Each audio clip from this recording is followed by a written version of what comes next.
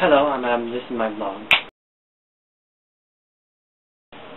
Been a very busy week. First, I got tied up and made with people. It rained. Then I saved money on insurance. I'm an insurance broker, getting new insurance because mine has gone up too much. I saved a hundred dollars by doing this.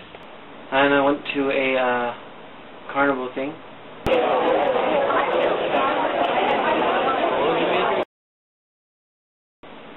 Bye.